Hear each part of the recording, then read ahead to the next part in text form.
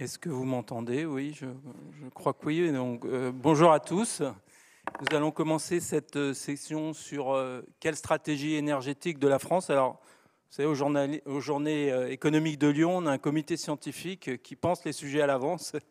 Et quand on a pensé ce sujet-là, bien sûr, on avait en tête comment arriver à la neutralité carbone en 2050, mais on ne pensait pas qu'on serait confronté à la plus grave crise énergétique le monde moderne n'est jamais euh, connu. Et bien sûr, nous parlerons aussi euh, de cette question-là euh, abondamment. Donc moi, je suis Jean-Marc Germain, je travaille à l'INSEE, je suis aussi enseignant à l'école des ponts Paris Tech et je travaille sur ces questions et notamment comment arriver à la neutralité carbone d'un point de vue économique et d'un point de vue de la faisabilité et des conséquences pour euh, nos concitoyens. Mais vous n'allez pas m'entendre euh, aujourd'hui, même si je vous invite à, lire euh, mes articles qui sont publiés chez Eco. Je ferai la pub de nos autres prestigieux intervenants.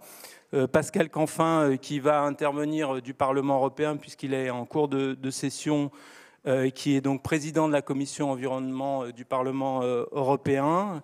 Euh, puis euh, Xavier Pietchazik, pardon d'écorcher un peu votre, votre nom, mais qui est président du directoire de RTE, Laurence Boribancel, euh, qui est présidente du directoire de la Compagnie nationale du Rhône, et Kathleen Schubert, qui est économiste, spécialiste des, des si, ancienne présidente de l'Association française d'économie, pardon, et euh, qui est euh, une des principales économistes françaises, notamment sur la macroéconomie du climat, et qui par ailleurs est une éminente membre du Haut Conseil pour le climat. Donc vous voyez, vous avez des intervenants à la fois au cœur de la transition énergétique en France et très, très prestigieux. Donc je voudrais en tout cas les remercier de prendre de leur temps. Vous avez vu des consignes pour poser des questions. Donc ça se fait par euh, une tablette et je recevrai euh, vos questions euh, selon les indications qui vous ont été fournies, j'espère que vous avez compris. Moi, je ne sais pas si je les ai totalement compris, mais en tout cas, c'est comme ça que ça fonctionne. Et il y aura, vous verrez, plusieurs temps de questions. Donc n'hésitez pas à les poser au fil de l'eau. Après l'intervention de Pascal Canfin, par exemple, je relayerai vos questions et il y répondra. Et puis ensuite, nos intervenants interviendront. Vous aurez une deuxième occasion, euh, en tout cas, j'aurai une deuxième occasion de relayer vos questions. Voilà, le, sujet, euh, je vais le poser en quelques mots. Euh, la tragédie, le, zen, le zéro émission net en 2050, reposera au fond sur trois piliers des économies d'énergie, euh, l'électrification euh, de beaucoup euh, d'usages d'énergie et la décarbonation de l'énergie. Mais une fois qu'on a dit ça, se pose la question du comment, quel mix énergétique, quel investissement public pour y parvenir, quelles conséquences pour les usagers en termes de mode de vie, en termes de pouvoir d'achat. Et puis, et puis comment aussi faire Qu'est-ce qui doit se faire au niveau européen? Ça va faire la transition avec Pascal Canfin que je vois euh, à l'écran, euh, au niveau national et au niveau local. Donc nous essaierons d'aborder euh, toutes ces questions-là. Et donc sans attendre, je vais passer la parole à, Pascal Canfin, qui va nous parler de la stratégie européenne qui est évidemment indissociable de celle de la France. Donc Pascal Canfin qui est député européen du groupe Renew, euh, élu depuis 2009 euh, euh, avec un interbed puisqu'il a été ministre délégué en 2012 aux questions internationales et qui est ancien directeur général aussi du WWF. Donc Pascal, je te passe la parole. On a prévu une intervention de 15 minutes et ensuite tu auras des questions de la salle ou des réactions de la salle et de nos intervenants. À toi Pascal. Bonjour, euh, est-ce que vous m'entendez bien d'abord? Très bien.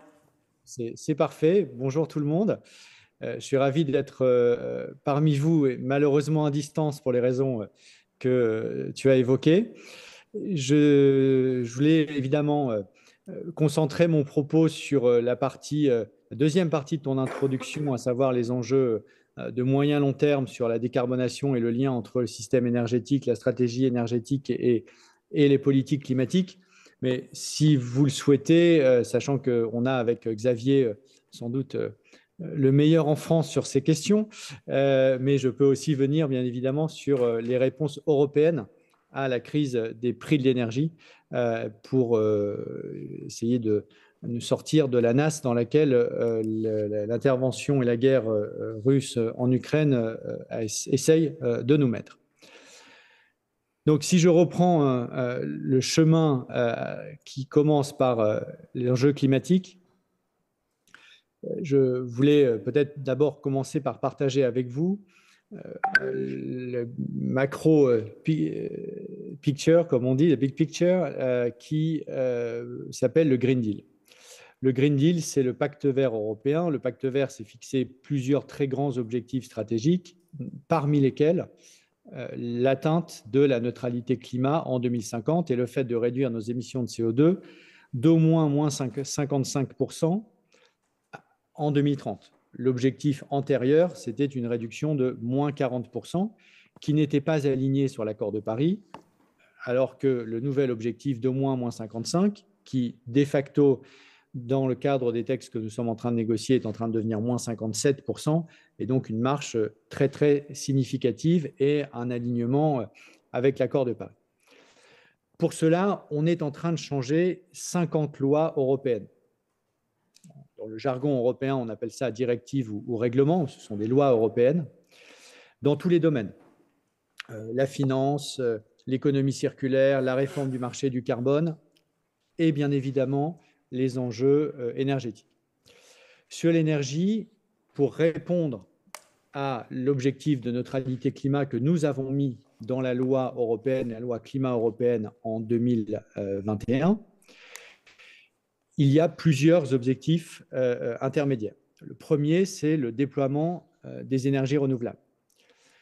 Les renouvelables font consensus en Europe. Je reviendrai évidemment sur le nucléaire.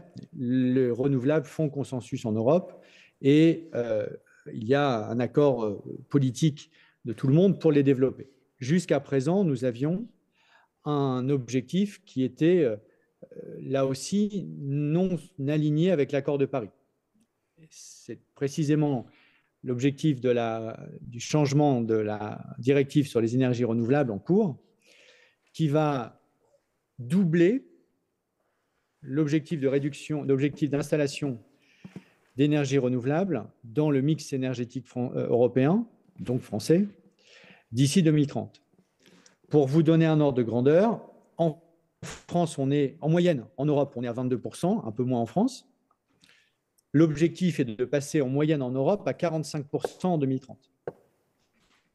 Ça veut dire un doublement par rapport à la situation actuelle. Ça veut dire aller 4 à 5 fois plus vite que ce que nous sommes en train de faire depuis quelques années. C'est donc une accélération considérable.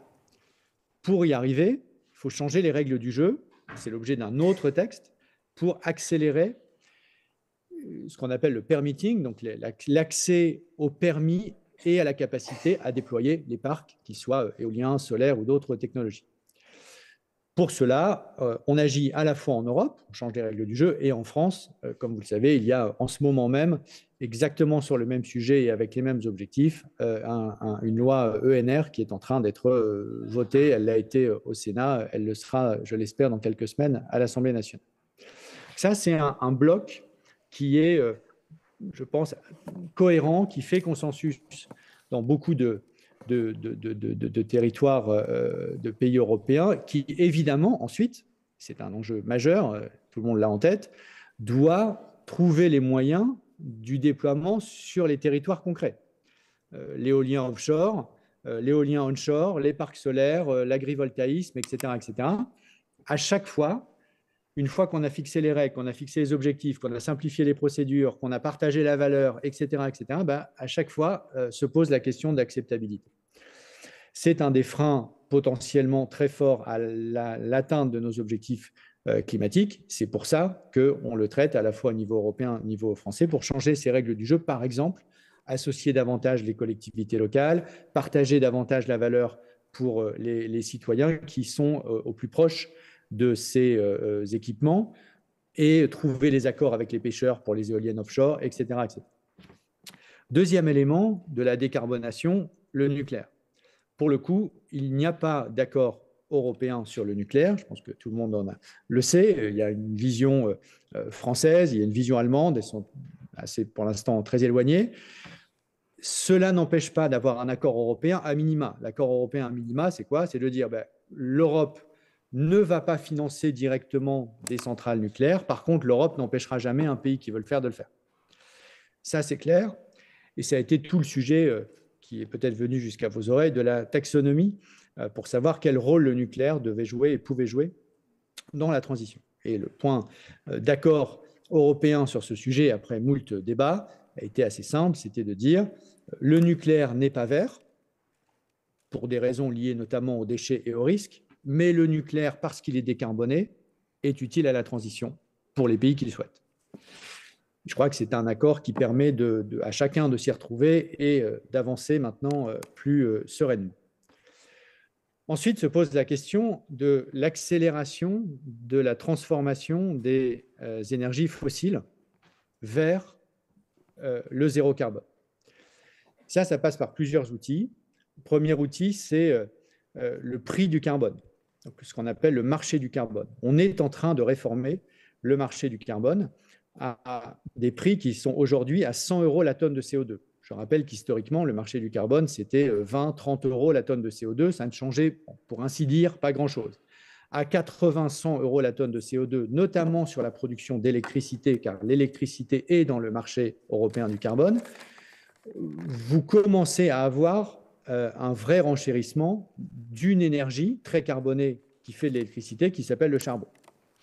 Et la priorité numéro un à côté du déploiement des sources décarbonées, c'est de réduire le charbon euh, qui est totalement incompatible, on le sait, euh, avec nos objectifs climatiques.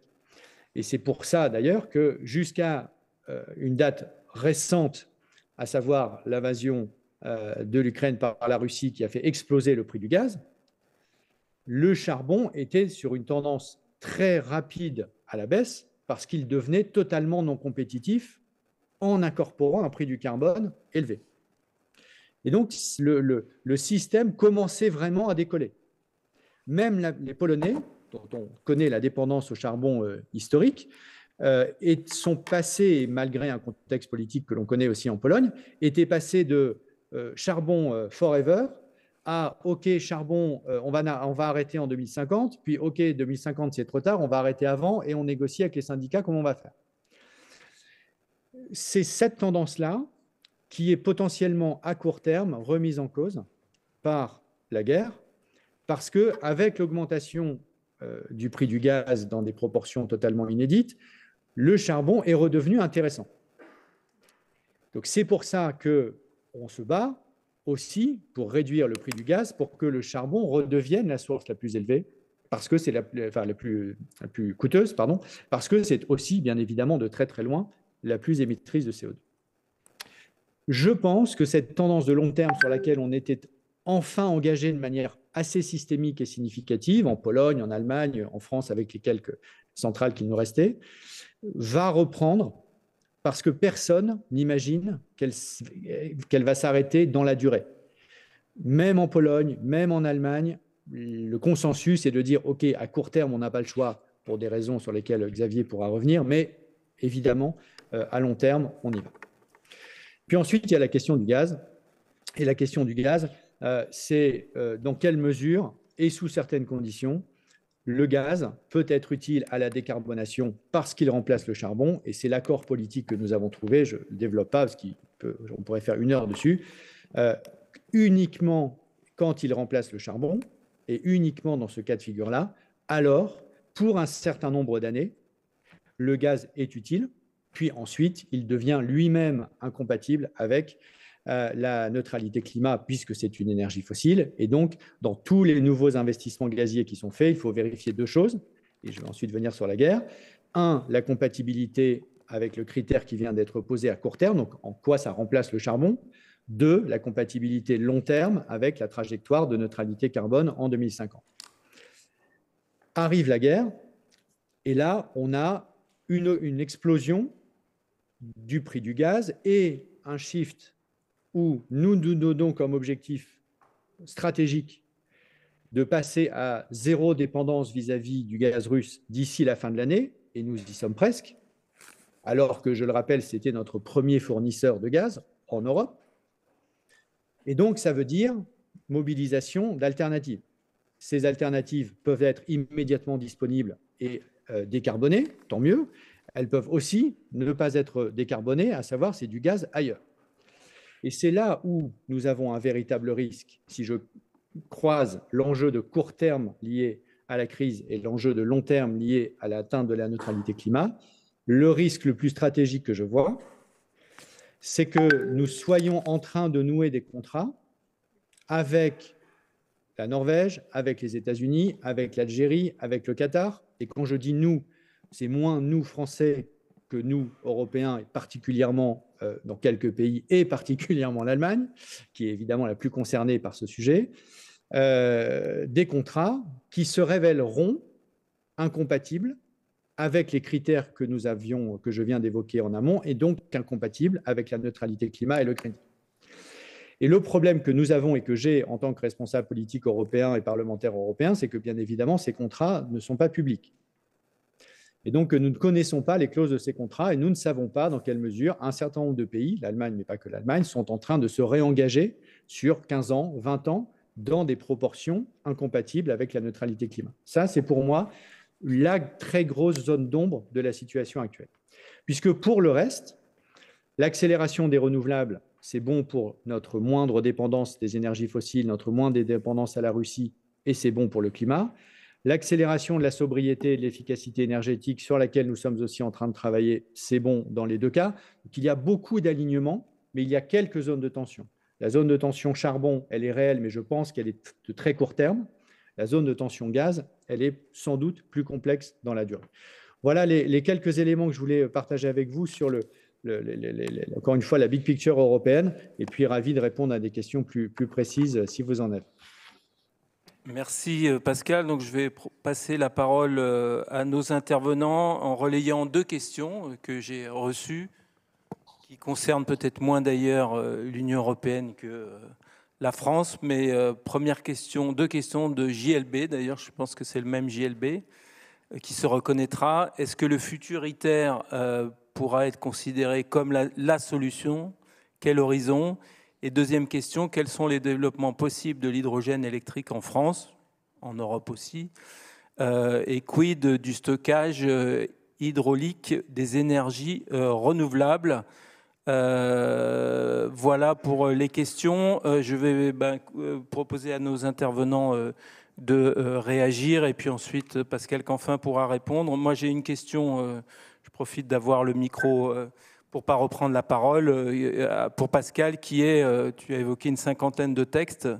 On voit bien le caractère contraignant de la question des marchés carbone, puisqu'il faut, on a des quotas et si on veut émettre plus, il faut les acheter. Le prix, comme tu l'as dit, sont élevés. Mais les autres textes que tu évoques, notamment par exemple par rapport à la taxonomie, euh, si une entreprise devait ne pas la respecter ou si un État devait subventionner par exemple une entreprise ou un investissement euh, qui n'est pas dans la taxonomie, euh, quelles sont les conséquences?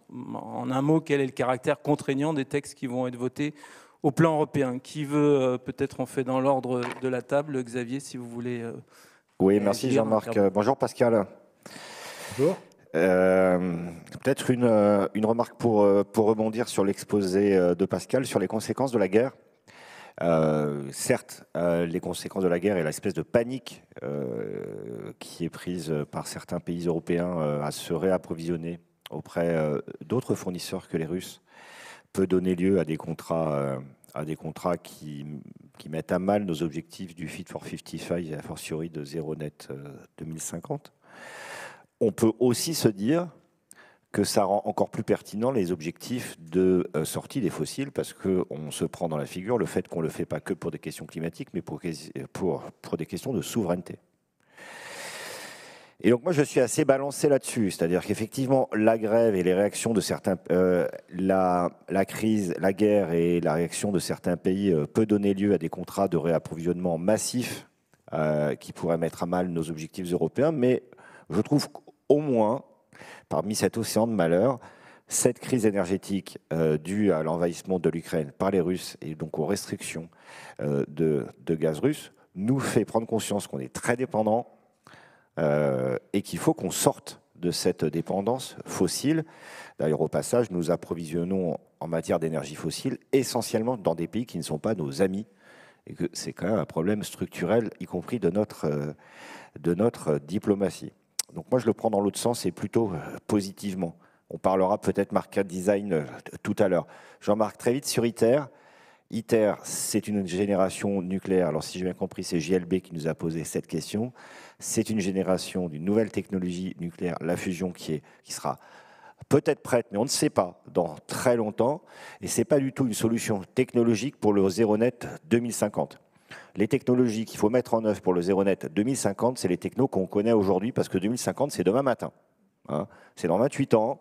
Donc c'est demain matin et au rythme du système énergétique, c'est vraiment en 2050, l'essentiel des technologies qui fonctionneront en 2050, on les connaît déjà. Deuxième question, est-ce qu'on peut utiliser l'hydrogène dans, euh, un système énergétique? Bien sûr, et on peut, euh, utiliser euh, l'hydrogène pour, pour stocker de l'énergie si on l'électrolyse euh, donc à partir d'eau, grâce à, euh, par exemple, des énergies renouvelables produites par euh, Laurence. Ça permet de stocker de l'hydrogène et de reconsommer de l'hydrogène quand on a besoin de, de reproduire de l'électricité ou quand on en a besoin dans nos processus de production. Je parle là de la grande chimie et je te laisse répondre sur l'hydraulique. Merci Xavier. Du coup, si on n'a pas ITER, euh, est-ce qu'il y a une souveraineté énergétique en matière de nucléaire? Ça, ce sera une question pour euh, tout à l'heure. Laurence euh, Bory-Bancel. Oui, alors sur donc effectivement, on a prévu de produire de l'hydrogène vert à partir de l'énergie renouvelable que nous produisons. donc sur le stockage le stockage hydro. Euh, donc, ce qu'on peut dire, euh, enfin, ce que je pense, c'est que c'est quelque chose qui est nécessaire aujourd'hui et qui sera encore plus nécessaire dans l'avenir. Et, euh, j'en veux pour preuve ce qui se passe dans le, dans le sud-est de, de, la France et sur le Rhône.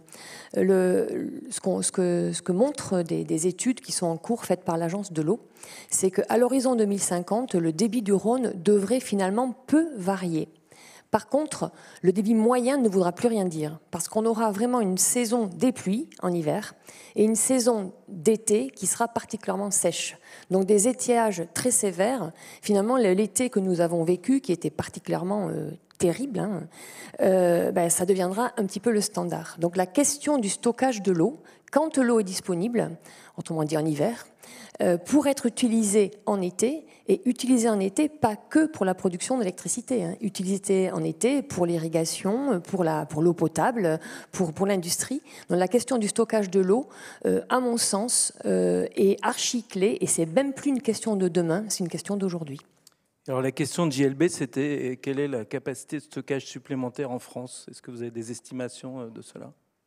Alors moi, j'ai pas d'estimation. Par contre, dans la dans la loi euh, donc euh, qui a été votée, euh, il y a une étude qui doit être faite pour pour augmenter la capacité hydro en France. Et donc j'imagine que la question du stockage, la question des steppes sera sera posée. Je ne sais pas si toi tu as une, estimation. On estime que c'est quelques unités de gigawatts en plus, c'est-à-dire c'est marginal. Les steppes, les nouvelles steppes en France, on peut en faire on peut en faire quelques-unes, mais c'est pas du tout euh, dans l'ordre de grandeur euh, des besoins de flexibilité, donc de stockage, dont le système électrique aura besoin demain. Ça y contribuera, c'est vertueux, mais c'est pas dans le bon ordre de grandeur.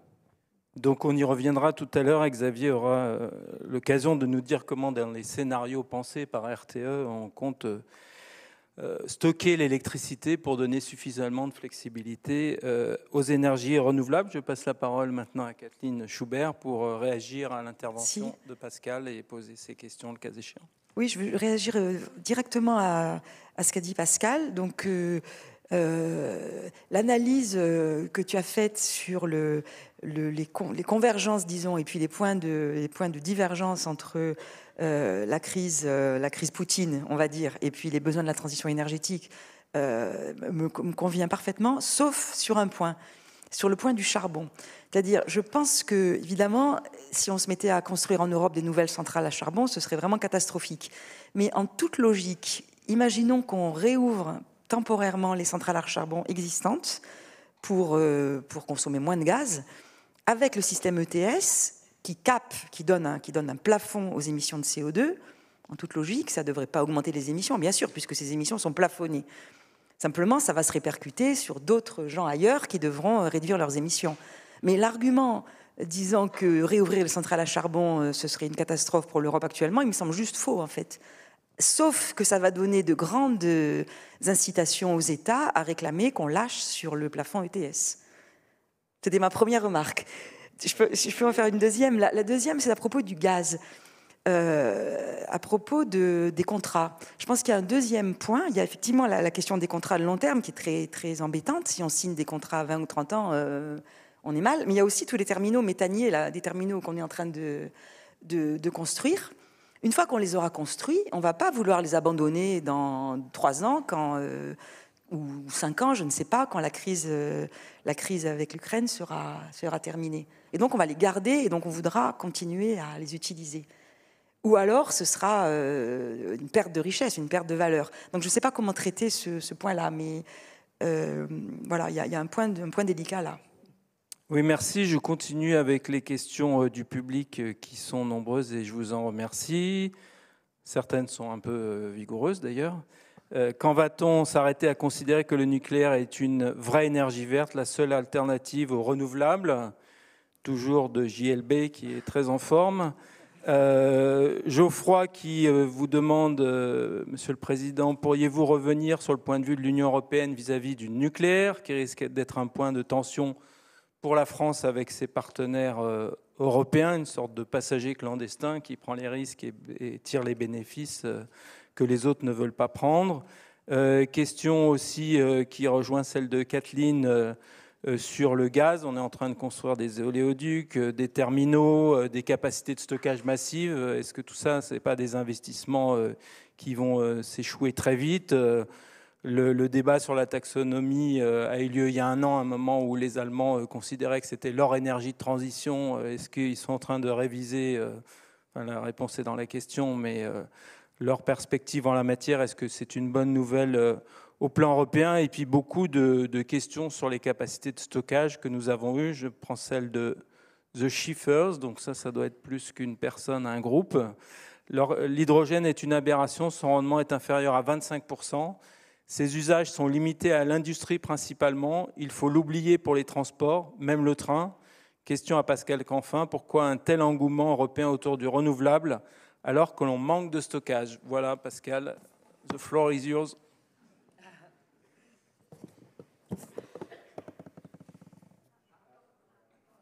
Ah, on n'entend pas pour la technique. Euh, euh, on est coupé. C'était moi, c'était moi, excusez-moi. Ah, encore euh, je suis sur mute deux ans après le Covid. Oui, je disais que j'ai donc deux heures devant moi. Hein, c'est la, commande pour répondre à toutes ces questions. D'abord, je voudrais rebondir sur ce que disait Xavier sur l'articulation positive en matière de souveraineté, la leçon qu'il nous faut tirer de cette crise je ne l'ai pas dit, mais je partage 100% bien évidemment de, cet ajout.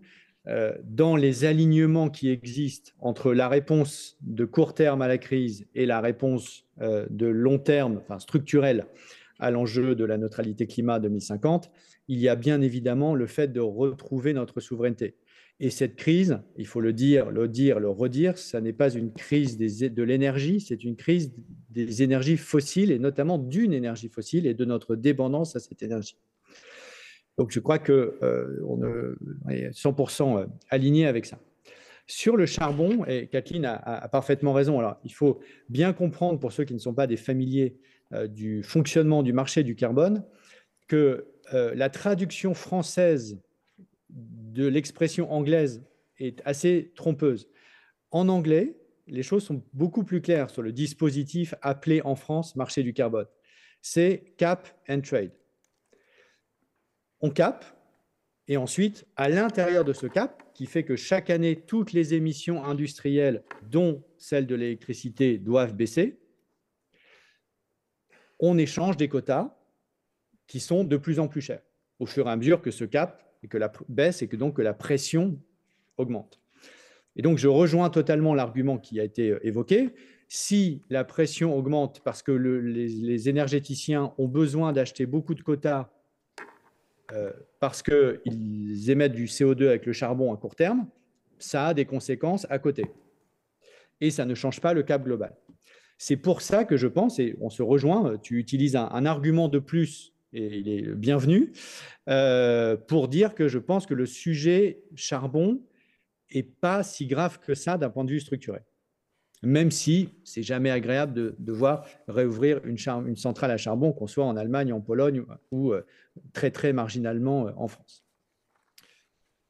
Ensuite, sur le, peut-être l'élargissement du, sujet avec l'hydrogène, etc.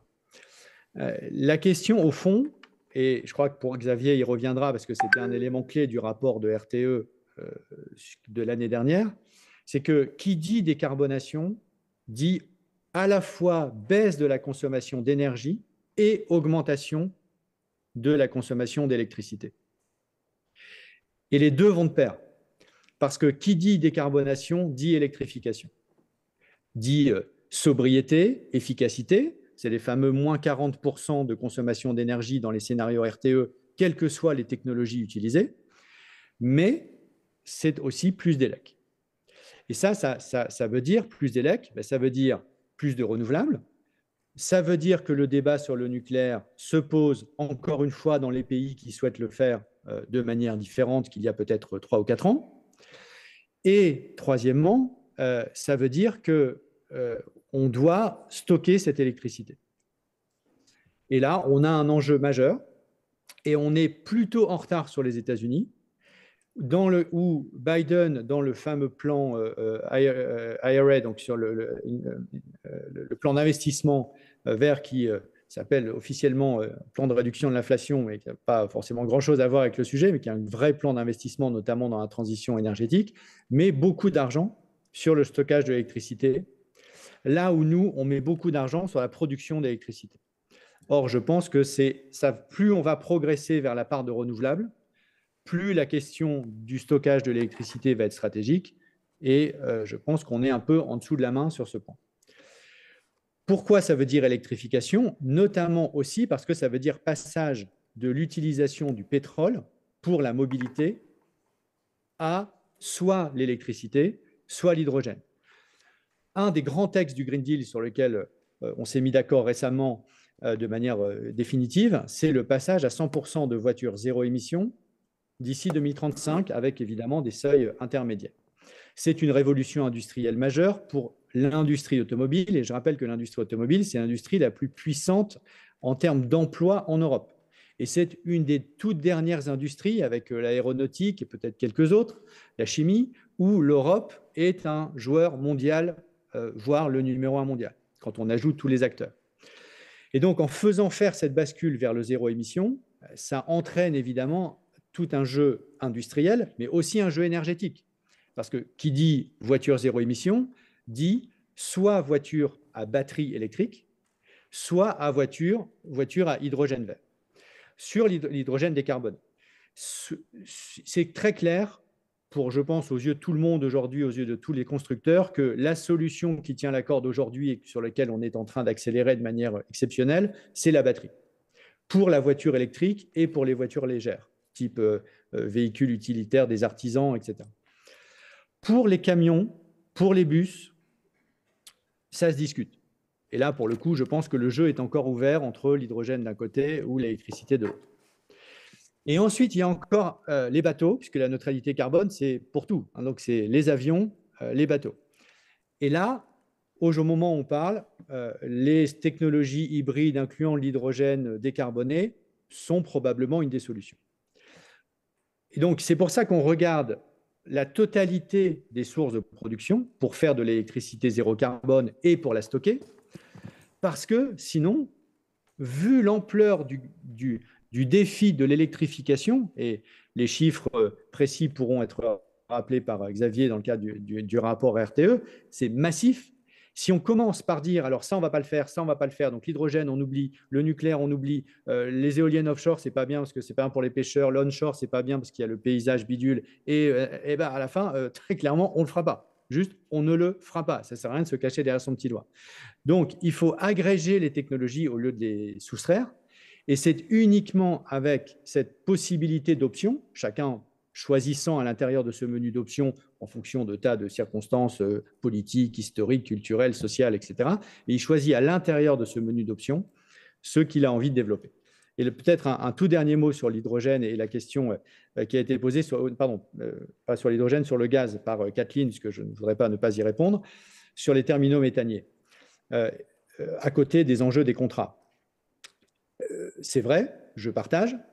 C'est d'ailleurs pour ça qu'en France, euh, on a fait un terminal flottant et non pas un terminal fixe. Parce qu'un terminal flottant, euh, précisément, lorsque la crise est finie, bah, ce qu'on a monté en flottant, on le démonte et il n'y a pas de stranded asset, il n'y a pas d'actifs échoués à moyen terme. C'est le choix qui a été fait et je trouve que c'est un bon choix.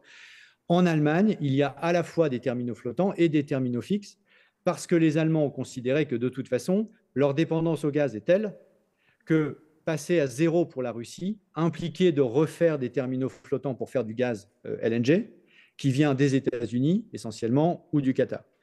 Euh, et ça, euh, c'est un choix allemand que je peux comprendre, enfin que je ne justifie pas, mais que je peux comprendre au regard des, chiffres qui sont posés sur la table pour le gouvernement allemand. C'est absolument massif, bien plus que pour nous. Et donc, ils ont fait ce choix. Euh, la question fondamentale ensuite, c'est un, est-ce que ça reste compatible avec le Green Deal? Là, il y a l'aspect contractuel et il y a l'aspect, c'est là où l'hydrogène revient. Et il y a une forme de discours un peu facile porté parfois en Allemagne par certains acteurs, du type vous inquiétez pas, euh, on passera les, les, terminaux, les méthaniers, les oléoducs, les gazoducs, pas les oléoducs, pardon, les gazoducs, on les passera à l'hydrogène et tout ça sera merveilleux pour la raison qui a été évoquée par, une question de la salle sur le mode euh, le rendement énergétique, attention, euh, oui, évidemment, faire venir, transporter en gazoduc de l'hydrogène sur très longue distance, très, distance a un rendement énergétique extrêmement faible. Et donc, il faut faire attention à ne pas tomber dans un miroir aux alouettes et à justifier des investissements gaziers fossiles actuels par une possible, éventuellement un jour, conversion à l'hydrogène décarboné, qui très probablement, pour des raisons de rendement énergétique, se fera jamais. Donc, à l'intérieur de tout ça, voilà, il faut naviguer sans idéologie, sans trop de préconçus, mais avec une forme de cohérence euh, stratégique sur la souveraineté et une cohérence climatique vers la neutralité climat. Merci. Peut-être une dernière question, puisque tu n'as pas répondu à ma propre question. Quel, est le, caractère euh, dans, les, euh, dans, les dans les textes que, qui vont être votés euh, Quels sont ceux qui ont un caractère contraignant et quels sont ceux qui relèvent de l'objectif? Par exemple, pas de moteur thermique en 2035. On voit bien quels sont les, les, les, dispositifs européens qui le permettent, mais sur le reste Alors, la, la, la plupart de ces textes tous ces textes sont contraignants. Rien de ce que je viens de vous dire n'est euh, un texte aspirationnel euh, qui euh, ne renvoie à rien dans le cadre du droit dur. Sinon, je pense qu'on ne passerait pas notre temps à en parler. Ensuite, la question est quelles sont les sanctions? Et là, les sanctions sont de nature différente en fonction des textes. Donc, je vais prendre la plus dure sur le véhicule thermique. C'est une règle simple d'autorisation de mise sur le marché. Donc, le jour où vous n'avez plus le droit de le mettre sur le marché, bah, la sanction, elle est simple, c'est que vous n'avez juste plus le droit de le mettre sur le marché. Donc, c'est blanc, noir, euh, c'est carré, il n'y a pas de possibilité de le contourner, c'est comme ça. Puis ensuite, vous avez des sanctions qui sont de nature financière. Et là, la sanction financière, par définition, si elle est trop basse, elle est certes incitative, mais finalement pas tant que ça. Euh, ou alors, vous avez la sanction, euh, donc ça peut être la sanction financière pour une entreprise, par exemple, celle qui ne réduit pas ses émissions de CO2 dans le cadre du marché du carbone. Il y a des sanctions financières qui sont plus élevées que le prix du carbone. Donc, vous avez logiquement intérêt à réduire vos émissions plutôt que de payer la sanction qui fait qu'à la fin, ça vous coûte plus cher. Et tout ça est contraignant. Et puis, vous avez les sanctions pour les États. Par exemple, euh, quand euh, euh, nous ne respectons pas nos objectifs en matière de qualité de l'eau ou de qualité de l'air ou d'objectifs sur les ENR, etc., etc., il y a alors un processus qui s'enclenche avec la Cour de justice qui déclenche des amendes. C'est certes quelque chose, mais très honnêtement, de vous à moi, c'est pour le coup le dispositif le moins fort du point de vue de la sanctionnabilité du non-respect de l'objectif, puisque là, pour le coup, plein de pays, et la France parmi d'autres, payent des amendes sur le non-respect des objectifs environnementaux et ne les atteint toujours pas. Donc le fait de payer des amendes, c'est mieux que rien, mais ce n'est pas ça qui suffit à atteindre l'objectif. Et c'est pour ça qu'il faut certes avoir des mécanismes de sanction, mais il faut remettre tout ça dans une dynamique positive. C'est-à-dire, on ne va pas faire quelque chose uniquement par la peur du gendarme. Si vous ne volez pas, ce n'est pas parce que vous avez peur qu'il y ait un gendarme à côté. C'est mieux qu'il y ait un gendarme à côté, mais ce n'est pas pour ça que vous ne volez pas. Et je crois qu'il faut rester sur ces fondamentaux. C'est notre intérêt d'aller dans cette direction, pas simplement parce que si un jour ça n'arrive pas, on paiera une amende.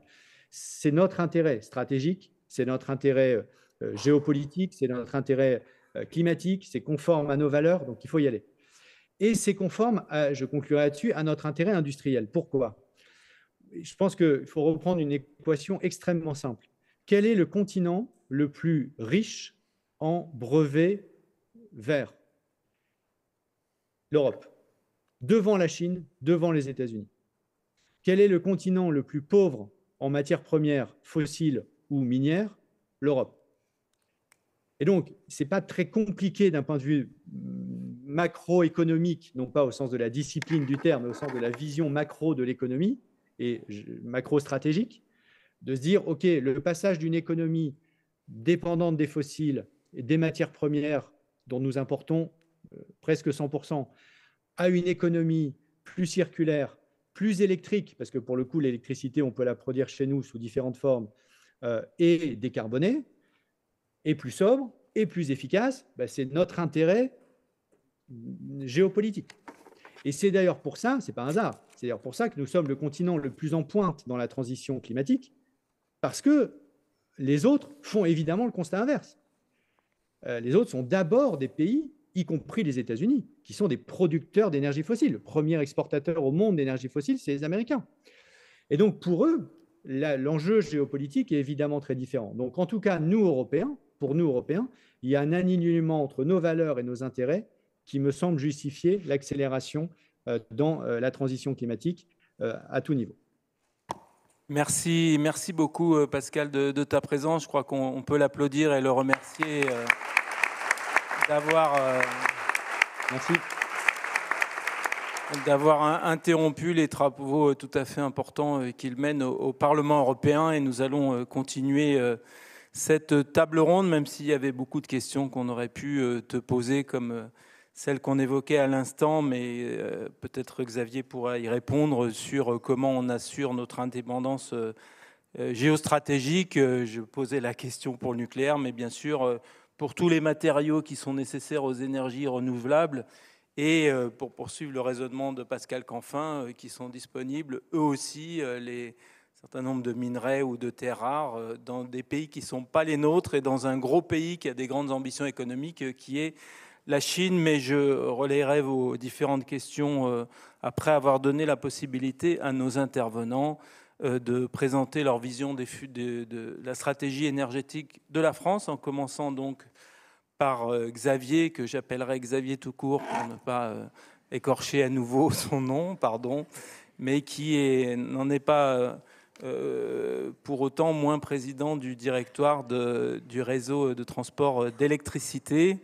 Euh, qui a euh, travaillé euh, pendant longtemps dans l'administration française, notamment le ministère de l'écologie, qui a été conseiller d'un Premier ministre puis d'un président de la République avant d'occuper les fonctions qui sont les siennes et dont l'organisation qui dirige est l'auteur d'une étude assez fondamentale pour le débat public euh, et qui mérite d'être euh, salué. En tout cas, c'est mon point de vue euh, d'économiste et d'observateur de ces questions-là, puisque au fond, n'a pas cherché à proposer un scénario tout ficelé aux autorités publiques, mais au contraire à explorer différentes possibilités, y compris, et je crois que c'était une première, des scénarios de production d'électricité permettant d'assurer le niveau de vie des Français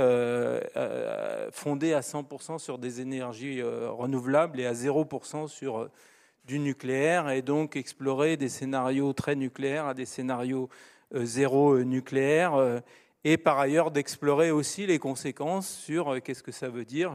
J'évoquais cette espèce de, de, règle des trois E pour euh, réussir euh, à, décarboner totalement l'économie, les économies d'énergie, l'électrification des usages de l'énergie et l'élimination du carbone dans, dans, l'électricité. Et donc cette étude est tout à fait remarquable. Je vous invite à vous en saisir pour ceux qui ne l'ont pas fait, parce que je crois que au-delà d'être une belle performance euh, technique et technologique de ces auteurs, est un vrai outil euh, citoyen pour permettre de se faire un avis éclairé, si je puis dire, euh, de cette question fondamentale. Xavier, la parole est à toi. Merci Jean-Marc, merci pour tes, pour tes compliments.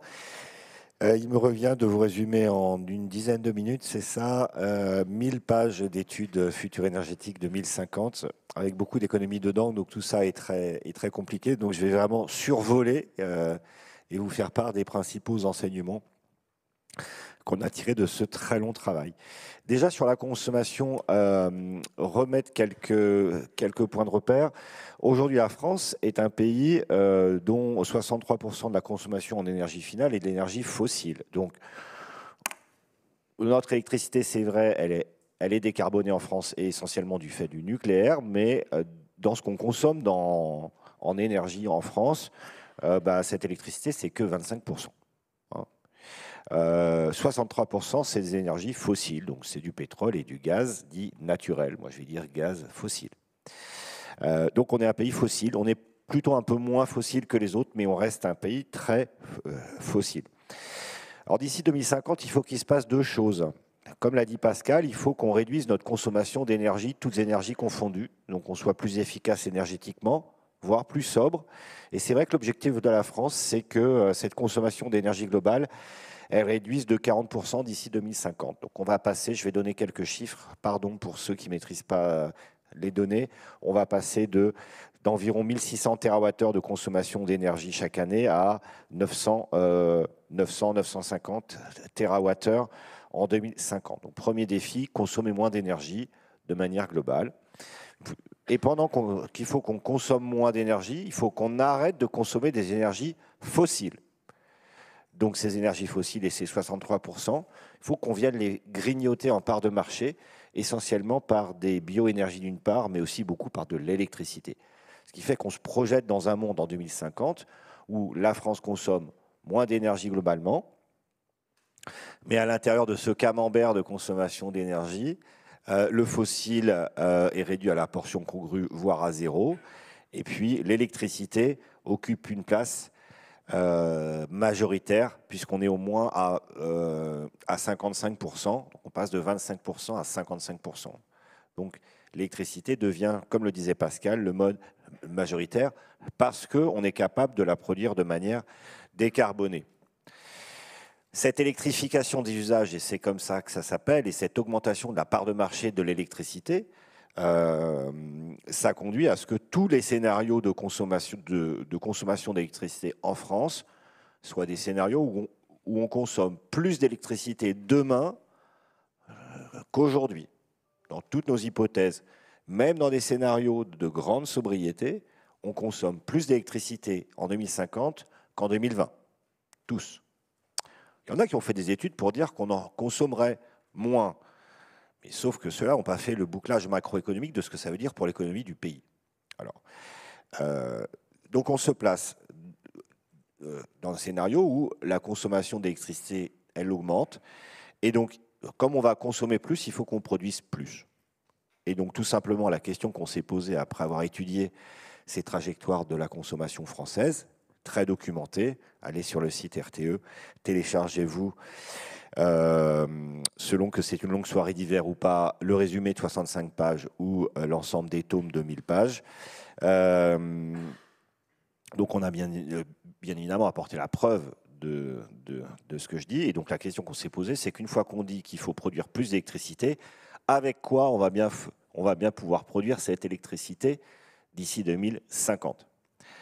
Avec un cas, avec un cas très français, c'est que pendant qu'il faut qu'on produise plus d'électricité, le parc nucléaire français installé est en train de décliner. Et vous en entendez parler dans la presse, alors en ce moment pour des avaries qui sont un peu conjoncturelles, mais le parc nucléaire est, est finalement assez vieux, il a son âge, et donc il finira par fermer. Donc la France, elle a un double défi. Elle a produire plus d'électricité parce qu'on va s'électrifier comme tous les pays développés du monde. Et puis pendant ce temps-là, il faut qu'on remplace notre parc nucléaire. Donc c'est une sorte de double effort à faire. Et c'est pour ça qu'il ne faut pas qu'on s'endorme sur nos lauriers. Alors Jean-Marc le disait, pour ça, on a étudié six scénarios de production d'électricité d'ici 2050. Ces six scénarios représentent les différentes tendances du débat public français euh, on n'a pas étudié les scénarios qui ne nous permettent pas d'atteindre la neutralité carbone. Donc, typiquement, il y a deux scénarios qu'on n'a pas étudiés. Celle de la sortie du nucléaire avant 2050, parce que ça, c'est sûr que ça ne nous permet pas d'être neutre en carbone euh, d'ici 2050. Euh, et à l'inverse, les scénarios de moratoire sur les énergies renouvelables. Cela, on a fait la démonstration que de toute façon, ça ne nous permet pas de s'électrifier, donc on n'atteint pas la neutralité carbone. Donc si on n'atteint pas la neutralité carbone, on n'a pas étudié jusqu'au bout. Donc on a étudié que des choses qui nous permettaient de s'électrifier d'ici le 2050 et donc d'être zéro, zéro net carbone en 2050. Donc on a défini six scénarios pour être équilibrés, bien évidemment. Trois euh, dans lesquels la France déciderait de ne pas faire de nouveau nucléaire donc de tendre vers 100% d'énergie renouvelable d'ici 2050 ou 2060. Il y a différentes variantes, c'est pour ça qu'il y en a trois. Et trois autres dans lesquelles la France déciderait de relancer un programme euh, électronucléaire, essentiellement fondé autour de l'objet technique de l'EPR, dans des proportions plus ou moins grandes, de 6 tranches d'EPR d'ici 2050 jusqu'à 14 tranches d'EPR en 2050.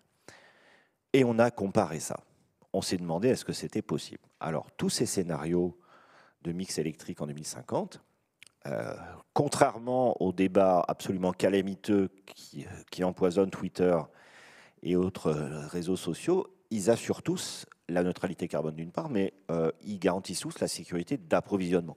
Hein.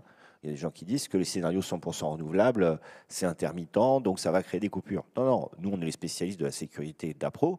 Bien évidemment, quand on tend vers des scénarios de 100% renouvelables, il faut beaucoup de moyens de flexibilité et donc du coup beaucoup de moyens de stockage. Parce qu'il n'y a pas du vent tout le temps, du soleil tout le temps. Des fois, il y a des années avec vent et des années sans vent, donc il faut investir des moyens de stockage. Mais après, c'est une question d'argent, c'est une question de coût, mais ça existe et c'est faisable sur le plan euh, technologique. Euh, euh, donc, on a comparé ça. Alors, je ne je peux pas vous lister les 18 enseignements, vous dire quand même quelques points de régularité. Il, sera, il sera bien évidemment euh, beaucoup plus dur d'atteindre la neutralité carbone si on ferme le parc nucléaire existant par anticipation. Donc nous, ce qu'on a dit, moi je l'assume, c'est que le parc nucléaire qui est déjà construit et qui est amorti, il produit de l'électricité qui est très très largement décarbonée. Il faut le maintenir en vie le, plus longtemps possible. Ce n'est pas la même question que de recommencer une génération nucléaire. Hein. Il existe, on le prolonge le plus loin. Deuxième conclusion très importante qui nous a euh, conduit euh, à être voué aux gémonies, c'est que la France a, dans toutes les hypothèses, besoin d'un socle d'énergie renouvelable. Il n'y a pas de scénario dans lesquels euh, il n'y a pas un socle minimal d'énergie renouvelable. Et ce socle minimal d'énergie renouvelable, on en est très loin. Très loin, très loin, très loin même si on se nucléarisait beaucoup, si on se renucléarisait beaucoup, il faudrait qu'on se secoue, il faut qu'on se secoue pour, euh, pour construire ce socle d'énergie renouvelable. Vous allez voir, je ne vais pas vous assumer euh, vos vous, vous assommer pardon, de gigawatts, mais on est quand même dans des proportions qui ne sont, qui sont pas du tout atteintes. Notamment, il faudrait qu'on ait au moins une vingtaine de gigawatts d'éolien offshore. Aujourd'hui, on en a 0,6 alors euh, d'ici 2030-2035, on en aura quelques unités de gigawatts, j'espère euh, une petite dizaine. Il faut qu'on dépasse assez largement 20, et ça c'est un socle minimal. Donc il faut qu'on fasse des gros efforts sur les énergies renouvelables. Euh, J'ai dit aussi que la, que la, France pouvait faire le choix de faire du nouveau nucléaire, mais ça c'est une question de choix politique et de choix économique. je pense que je serai interpellé dessus. Et puis deux autres, deux autres traits communs. Il faut de la flexibilité dans tous les cas. Donc il faudra du stockage d'électricité dans tous les cas, des interconnexions avec les pays voisins dans, dans tous les cas. Et dans tous les cas, comme les énergies fossiles, on va en consommer moins, on va rapatrier sur le territoire français des outils de production d'électricité, parce que des éoliennes sur le territoire français, c'est la réinternalisation sur notre territoire de, de la production d'énergie. Et donc ça veut dire, dans tous les cas, plus de réseaux. Plus de réseaux. Donc, la France de 2050 qui s'est électrifiée, c'est une France dans laquelle il y a une infrastructure énergétique qu'on voit plus qu'aujourd'hui. Ça, c'est sûr. Aujourd'hui, la production d'énergie, on ne la voit pas parce qu'elle est planquée dans les pays qui produisent des énergies fossiles. Euh, et on détourne les yeux. Et d'ailleurs, dans ces pays, on n'y va même pas parce qu'on n'y va même pas en vacances. Donc on ne les voit pas. Euh, euh, je ne sais pas si Jean-Marc m'interpellera sur les coûts, mais on a, pour finir, montré que, outre le fait que c'est très urgent, euh, vu du système électrique, euh, cette transition énergétique et cette électrification, elle n'est pas si chère que ça. elle est même accessible pour les Français. Et que moi, je ne pense pas que ce soit la peine de se faire peur sur les coûts complets du système électrique. On a fait la démonstration que les coûts complets du système électrique pouvaient ne pas exploser. Un, donc c'est une bonne nouvelle pour les Français. Deux, n'oublions pas qu'en 2050, on n'a plus de factures fossiles. Donc c'est des bonnes nouvelles économiques. Bon, j'ai dérapé, Jean-Marc, ou pas là? Non, non, pas du tout, euh, Xavier. Euh, vous avez été parfait. Euh, mais vous avez beaucoup de questions, hein, déjà 27, donc ça va nous prendre du temps. Mais ah, avant ça, à JLB d'arrêter ces questions.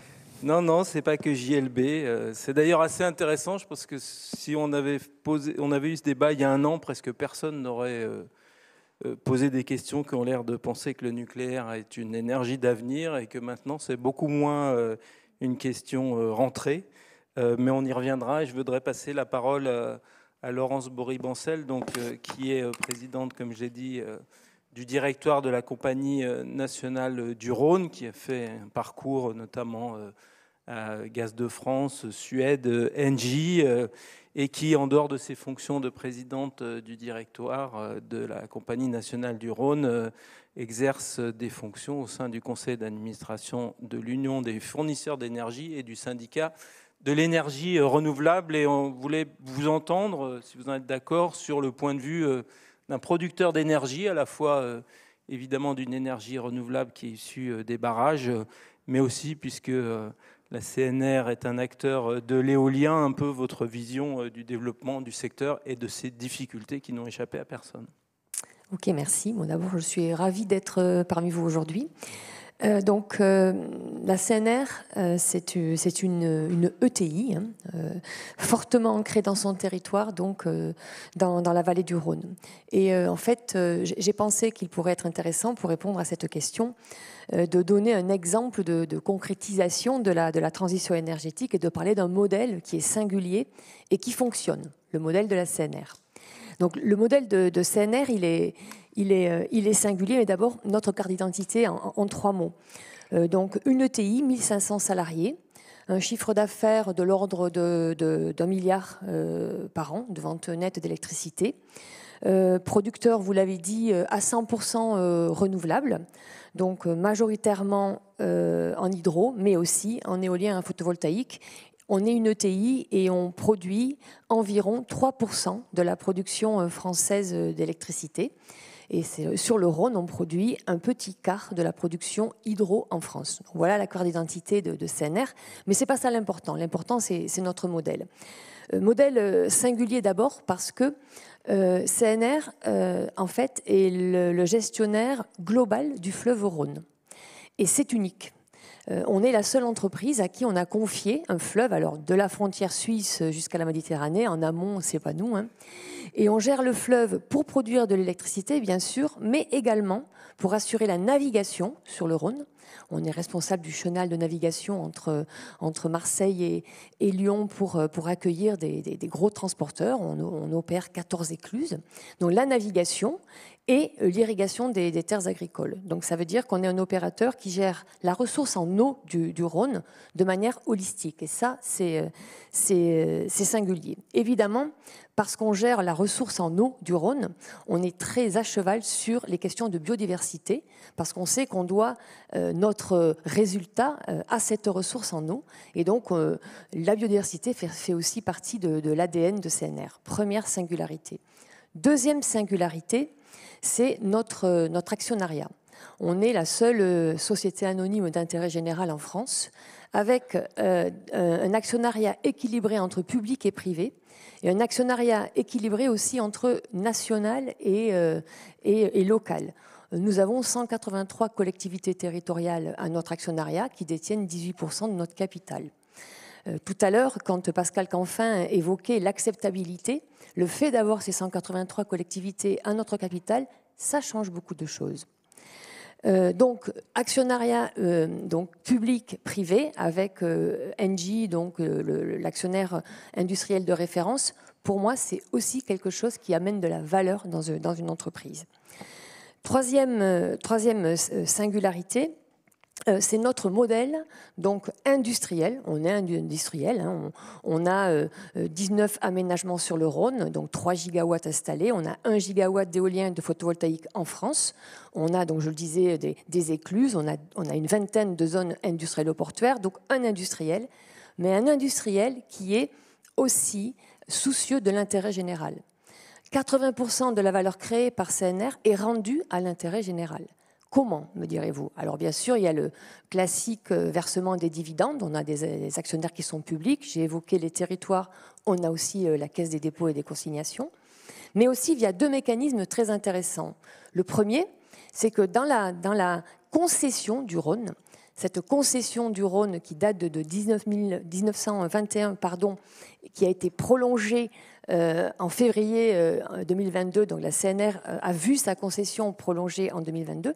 Donc dans le cahier des charges de cette concession, on a des missions d'intérêt général autour de différents thèmes, donc les, énergies renouvelables non matures, la navigation, l'agriculture, la biodiversité et l'accompagnement des territoires, ce qui veut dire qu'on reverse une partie de, de, la valeur créée via des plans quinquennaux pour développer ces sujets dans les territoires.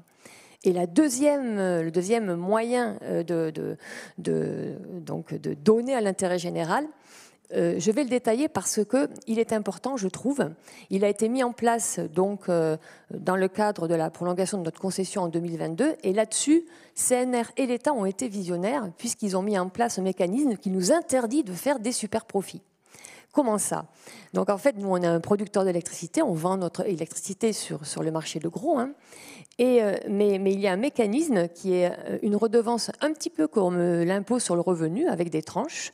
Pour la partie de l'électricité que nous vendons, dont le prix est inférieur à 26,5 euros par mégawattheure, l'État prend 10%. Et pour la partie, je vais sur la tranche la plus haute, de l'électricité dont le prix est supérieur à 80 euros par mégawattheure, on rend 80% de la valeur. Donc via ce mécanisme, eh bien, on, euh, reverse euh, par les temps qui courent beaucoup euh, donc à, l'intérêt général. Donc ça c'est une singularité qui me semble qui me semble important. Donc j'ai beaucoup parlé des, territoires, hein, donc des territoires qui sont à l'actionnariat de, CNR, CNR ancré dans les dans les territoires via nos aménagements, parce que je pense que les territoires sont en première ligne de la transition énergétique. Les territoires, euh, ben, que ce soit les collectivités territoriales, hein, les entreprises, mais aussi Madame Michu et Monsieur Michu, euh, voient la, crise climatique lente et voient encore plus la crise énergétique euh, rapide qui nous, qui, nous, qui nous frappe. Et donc, les, tous, les, tous les territoires comprennent, je pense encore plus aujourd'hui qu'il y a un an ou deux ans, la, nécessaire volonté d'accélérer dans la transition énergétique. Donc pour moi, le, les territoires sont clés, sont la clé, je dirais, de, cette équation de bifurcation euh, pour, pour aller vers plus d'énergie décarbonée et aller vers la transition énergétique. Et pour conclure, parce que je vois que je, je, suis trop longue, j'aimerais revenir effectivement sur ce qu'a dit euh, Pascal Canfin. En ce moment, donc, euh, se discute entre le Sénat et l'Assemblée un projet de loi très important sur l'accélération des renouvelables. Et donc, nous, en tant que producteurs d'électricité à 100% renouvelable, évidemment, euh, on veut que cette loi aboutisse et on veut que cette loi simplifie euh, la, vie des développeurs de manière à ce qu'on soit en capacité d'accélérer sur l'éolien, sur le photovoltaïque notamment, euh, pour, pour atteindre et contribuer à augmenter la, production, relever le défi de la souveraineté énergétique, comme ça a été dit par Xavier, et de la décarbonation. Et mon dernier mot sera comme ce que j'ai dit tout à l'heure, euh, pour dire que le défi de l'énergie, on le vit vraiment maintenant de manière forte, mais il y en a un qui vient juste après, et vraiment juste après, c'est le défi de l'eau. Merci euh, beaucoup, euh, Laurence Boré-Bancel. Peut-être pour passer la parole à Kathleen Schubert avant de relayer les questions du public, vous lancer, te lancer sur un peu les conséquences, enfin d'abord ce que ça implique en matière de transformation des usages, ces scénarios que nous ont présentés euh, Pascal Canfin et, euh, Xavier Péchakzik. Voilà, j'ai réussi. Euh, et puis aussi parce qu'il y a quand même une question, en tout cas que moi je me pose en, économiste et que je vous pose d'ailleurs à tous les trois, c'est on ne parle pas trop de la hausse des prix de l'énergie. Tu l'as évoqué un peu en disant c'est jouable. Euh, mais en ce moment, euh, ceux qui nous regardent, euh, et encore plus ceux qui ne regardent pas, mais qui subissent les hausses du prix de l'énergie, qui se demandent quand même s'il n'y a pas un petit lien avec la transition énergétique et pas simplement avec la guerre en Ukraine. Est-ce que tout ça a des conséquences en matière aussi de pouvoir d'achat et selon les différents scénarios, est-ce que ça change les choses? Bref, le point de vue des usagers pour l'économiste que vous êtes. Merci. Donc, oui, je je vais pas, revenir sur la façon de produire euh, l'électricité ou l'énergie, mais plutôt sur la baisse de la demande. Donc, euh, on a vu que dans tous les scénarios RTE, mais aussi dans les scénarios qui sont produits par d'autres organismes comme l'ADEME ou Negawatt, donc il y a d'autres scénarios disponibles, tous ont en commun une, importante baisse de la, consommation d'énergie euh, dans le futur et à l'horizon 2050, mais même très colossale. C'est-à-dire que j'ai été frappée, par exemple, dans les scénarios RTE, c'est de l'ordre de, par exemple, le, parc automobile doit, doit diminuer d'un tiers. Les gens doivent se remettre à habiter ensemble. La surface euh, par personne euh, dans les habitations doit être diminuée. Enfin, il y a vraiment des très très grosses, euh, très très grosses implications derrière ça. Derrière demande, baisse, de, baisse de la demande d'énergie, en fait, c'est des, implications très importantes. Et ce qui est un peu absent des scénarios, à mon avis, ce que je voudrais peut-être euh, discuter un petit peu, c'est qu'on ne vous dit pas comment ça va arriver, comment ça va se passer. Pourquoi finalement est-ce que euh, les gens vont baisser leur demande d'énergie? Euh, Donc, et ça, c'est un point évidemment crucial. Alors, il y a plusieurs façons pour, que, pour déclencher, disons, ça. Il y a des obligations, des prix, et puis, il y a à faire appel à la morale ou à, le, ou à, des, choses comme ça. Quoi. Donc, je vais, je vais essayer de, d'en parler euh, tour à tour de ces trois aspects. Donc, des, obligations, c'est clair. Donc, on, dit aux gens, voilà, voilà, à partir de demain ou à partir de, 2030, vous n'avez plus le droit d'avoir des, des, voitures thermiques. Bon, il y a tout un tas d'obligations comme ça qui, euh, qui peuvent être mises en place. Vous n'avez plus le droit de rouler à 130 sur l'autoroute, mais on passe à 110, etc., etc. Donc, c'est une partie de, des panoplies, des choses qui peuvent être envisagées pour faire, euh, pour faire baisser la consommation. Ensuite, vous avez les prix. Donc, soit le prix de l'énergie, euh, du gaz qui explose à cause de la guerre en Ukraine, ça va produire des changements de comportement. Les gens vont diminuer leur consommation parce que ça leur coûte trop cher. Ça aurait été mieux si ce prix avait été euh, mis en place, cette augmentation de prix provenait de la, puissance publique. Hein parce que comme ça, on aurait des recettes et on pourrait les, dépenser pour, euh, euh, pour compenser les gens qui subissent de plein fouet cette hausse des prix. Mais bref, la hausse des prix déclenche des, baisses de, de, demande, c'est clair. troisième chose, faire appel à la baisse de, la consommation volontaire. Dire aux gens, voilà, maintenant il faut être sobre parce que euh, c'est bien pour la planète, c'est bien pour... Et puis c'est ça qu'il faut faire maintenant, quoi. Alors ça, quelque part, c'est un peu facile. On peut se dire que c'est un peu ce qu'on fait quand on a échoué à mettre en place une politique qui provoque des baisses de comportement. Mais bon, euh, certes, des, baisses de, demande, mais, bon, c'est ce qu'on fait quand même. Donc il y a un plan de sobriété énergétique en France, par exemple, il n'est pas du tout contraignant, et il fait ça, c'est-à-dire qu'il fait appel à la bonne volonté des gens. Euh, voilà. Alors, je, voudrais quand même euh, développer un peu là-dessus. Je pense que c'est quelque chose qui peut marcher, c'est-à-dire que les gens, en effet, comprennent que pour le climat et pour l'avenir de leurs enfants, euh, il faut qu'ils fassent un effort, il faut qu'ils baissent leur consommation d'énergie. Mais c'est difficile de, présenter ça uniquement comme, un, comme une action individuelle, comme une action personnelle, euh, de restriction personnelle, donc euh, de sa propre consommation, par exemple baisser le chauffage dans son logement, sans que la société tout entière soit organisée pour ça. C'est difficile de dire aux gens de faire des efforts de baisse de leur, de leur consommation d'énergie dans une société qui valorise autant l'abondance, par exemple. Dans une société où on fait des, publicités pour les 4x4. Dans une société où on envoie euh, les gens euh, à la Coupe du Monde au Qatar. Vous voyez, donc je pourrais multiplier les exemples. Il y a une organisation sociale qui se prête à, ce que les gens soient d'accord pour faire des économies d'énergie. Mais les gens qui n'ont pas beaucoup de revenus, c'est difficile quand même, à mon avis, hein. enfin on peut en discuter, mais de leur dire il faut vous chauffer à 19 euh, dans un monde où euh, d'autres gens euh, ont des dépenses d'énergie très importantes. Voilà, donc je voulais quand même vraiment insister là-dessus. Je pense que inciter à la sobriété et permettre que à l'avenir les agents économiques acceptent de faire des efforts de baisse de la consommation d'énergie, c'est pas juste quelque chose de personnel, c'est une question d'organisation sociale. C'est très important. Et ça va très loin. Donc c'est une question d'organisation sociale, également une question de repenser notre, espace, comment on habite l'espace, euh, repenser la façon dont on, conçoit notre localisation par rapport à notre travail, donc se rapprocher, euh, se rapprocher des lieux, euh, des, lieux où lesquels on, travaille. Enfin, c'est tout un, c'est tout un ensemble pas du tout évident en fait, parce qu'il faut bien voir que les prix de, l'énergie faible, des prix bas de l'énergie énergies fossiles ont complètement façonné notre façon de consommer, euh, d'habiter l'espace et de, et de concevoir euh, l'ensemble de nos consommations. Donc c'est là-dessus qu'il faut revenir. Donc c'est un énorme chantier. Voilà. Dernier point, pardon, une seconde. Il ne faut pas croire que ça va se faire sans coût, en fait. C'est-à-dire que c'est un peu la question que tu posais. Si la consommation d'énergie baisse, euh, ça va avoir des répercussions macroéconomiques.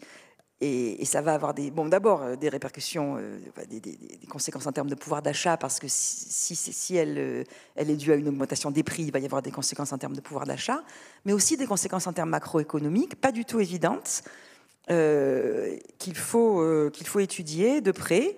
Donc, euh, ça va a priori être un choc négatif, mais qui peut être compensé effectivement par le fait qu'on va produire l'électricité, par exemple, euh, en France et non plus à l'importer. Enfin, c'est très complexe en réalité. Donc il y a vraiment besoin de, regarder tout ça euh, de très très près. Merci beaucoup. Alors je vais maintenant relayer les questions du public, ce qui est un exercice un peu difficile, puisqu'il y en a 32. Euh, mais je vais quand même euh, essayer euh, de ne pas en oublier. Donc, il y a une question qui revient à plusieurs reprises par Monsieur Michu. Alors, je ne sais pas si c'est vraiment son nom, mais en tout cas, sa question est très importante et elle était aussi celle de Tanguy Bonnet sur ben, quelle est notre dépendance en, en minerais en terres rares, euh, puisque comme l'a très bien dit Pascal Canfin, euh, on en a besoin et on n'en a pas beaucoup pour euh, la transition énergétique. Donc comment vous pensez la question géostratégique sur ce plan-là? Ma question était sur le nucléaire hein, en ce qui me concerne, parce que j'ai entendu dire par un responsable d'EDF, je crois, qu'on avait pour 30 ans alors le mot était un peu bizarre, de résilience en matière d'uranium, je ne sais pas trop ce que ça veut dire de ressources maîtrisées plus ou moins, mais ces ressources ne sont pas trop dans le sol français. Donc euh, avec cette question plus particulière, mais elle revient souvent, il y a la question du stockage, sur laquelle si vous pouvez nous répondre euh, l'un comme euh, l'autre. puisque Pascal Canfin nous dit on ne sait pas stocker n'a pas évoqué les solutions. Vous nous dites dans les scénarios RTE que vous avez regardé les choses de manière très précise. Donc, si le stockage, ce n'est pas des barrages, comment on stocke de l'énergie à haute quantité Est-ce que c'est du tout batterie ou est-ce qu'il y a d'autres solutions techniques qui sont en cours? Comment on stocke l'électricité? À quel coût? Nous demande Jacques. il y a une question de JLB donc, qui a fait à peu près une dizaine de questions sur les 32. Donc, je l'en félicite parce qu'elles sont très euh, pertinentes, mais euh, notamment sur euh, quel scénario semble suivre l'actuel gouvernement. Peut-être l'un d'entre vous peut nous dire ce qui est prévu et notamment comment va se passer l'élaboration de la loi de programmation énergie-climat qui doit être votée en juillet 2023 en France. Il y a des questions sur toujours qui poursuivent la question sur l'alternative euh, à l'uranium euh, dans le, nucléaire, les surgénérateurs notamment. Une nouvelle question euh, sur ITER et notamment un observateur qui trouve que vous êtes pessimiste sur la capacité de développer rapidement cette technologie. Notre interlocuteur nous signalant qu'aux États-Unis, elle se développe plus rapidement de ce qu'il avait compris de, votre propos. C'est Claude Roger. Euh, question euh, de euh, Bertrand, comment est-il crédible de tenir les engagements affichés, notamment sur le marché carbone, sans envisager la remise en cause partielle du libre-échange de l'Union européenne à ses frontières, compte tenu de l'existence de quelques passagers clandestins ici et là Je propose cette question pour Kathleen. les lobbies énergivores usent de cette réalité pour vider les objectifs de cette euh, substance. Donc vous voyez qu'il y a aussi dans la salle ou dans euh, ceux qui nous regardent sur Internet euh, des grands scepticismes et d'autres questions viennent sur cette question-là en disant mais est-ce qu'on va vraiment y arriver? Moi, je, relaye juste un élément en regardant la, stratégie qui est pensée par une autre organisation qui n'est ni le Parlement européen ni RTE, mais qui est l'Agence internationale de l'énergie. Elle suppose pour atteindre la neutralité carbone en 2050 qu'il y ait une neutralité euh, de l'énergie dans tous les pays développés en 2040. Donc est-ce que ça, ça vous paraît euh, atteignable euh, Voilà, beaucoup d'autres questions. Vincent qui nous demande est-ce que le combustible solide récupérable des déchets, des déchets pardon, CSR peut être une source d'énergie à mobiliser? Euh, Antonin, oui, j'insiste peut-être sur cette question aussi qui est très importante. À quel niveau peut-on mutualiser la production d'énergie à l'échelle européenne pour aider à la gestion de l'intermittence? Exemple, faire du photovoltaïque en Espagne et de l'éolien en Allemagne et échanger cette euh, électricité. Question pour la CNR. Euh, relative euh, aux, centrales qui se trouvent le long du Rhône. Est-ce que vous les gérez et quelles sont les conséquences d'un éventuel développement du nucléaire sur ces sites-là pour la ressource que vous gérez? Question très concrète dans le droit fil de ce que nous disait Kathleen. Comment on se chauffera dans les bâtiments en 2050 Par quel type d'énergie, notamment pour ceux qui sont chauffés au gaz? Voilà, pardon pour ceux dont j'ai oublié les questions, mais j'ai essayé d'en relayer un certain nombre et je veux remercier euh, tous ceux qui euh, les ont posées euh, pour l'intérêt de ces questions et la vivacité des échanges qui sont les nôtres. Dernière question pour la CNR, comment développer l'éolien le long du Rhône? Voilà, peut-être propose de répondre dans le même ordre que tout à l'heure en commençant par Xavier. Eh ben, écoute, le menu est Il nous reste 10 minutes. Il nous reste 10 minutes. Ok, il faut que j'aille assez vite. Euh, il faut qu'on aille à 3 euh, aussi vite que le temps qu'on a mis à poser les questions. Du coup. Moi, je représentais 36 questions. Oui, bah, c'est vrai. Alors, du, je vais essayer de faire compact. Euh, il y a beaucoup de questions qui tournent autour de la, souveraineté Hein, avec euh, quelques guillemets, et je mets dedans les questions de métaux, d'approvisionnement, etc. Euh, bon, déjà, ce que, je veux dire, c'est tous les scénarios de production d'énergie dont, on a parlé, en fait, il n'y en a aucun qui est parfait, ils sont ils sont tous difficiles. Il y en a qui sont plus chers que d'autres. Hein. C'est plus cher de faire des mix à 100% renouvelables que de faire des mix avec du, du euh, nouveau nucléaire, mais en, fait, ils ont tous des avantages et des défauts, et que euh, le choix, euh, il n'appartient pas aux techniciens, il, appartient aux politiques, parce que c'est vraiment une question de, de développement de, de, de, la société. Alors, ce qui est sûr, c'est que cette neutralité carbone, elle nous fait gagner en toute hypothèse en, en indépendance et en souveraineté. Mais il ne faut pas confondre ça avec une forme d'autarcie. C'est-à-dire, il n'y a pas de scénarios de production et de consommation d'électricité dans un pays complètement fermé. Ça, ça n'existe pas. Euh, des scénarios avec 100% renouvelables, c'est des scénarios dans lesquels il y a, beaucoup de numérique, euh, il y a aussi beaucoup de stockage. Euh, c'est des scénarios qui consomment un certain nombre de métaux. On parle beaucoup des terres rares, nous on a documenté ça, il n'y a pas vraiment de sujet sur les terres rares, mais il y a des sujets sur d'autres métaux, notamment le cuivre. Et donc, euh, tous les scénarios ont leurs défauts et donc ils posent tous des questions d'approvisionnement. Euh, euh, ce qui est important de dire, c'est que ces sujets d'approvisionnement que ça pose, notamment autour de métaux qui peuvent devenir critiques, qui ne sont pas encore cuivre, cobalt, manganèse, lithium, par exemple, combustibles comme, comme uranium, ce qui est important, c'est que ça ne nous mette pas dans une ultra-dépendance et que euh, cette possible dépendance euh, soit anticipée.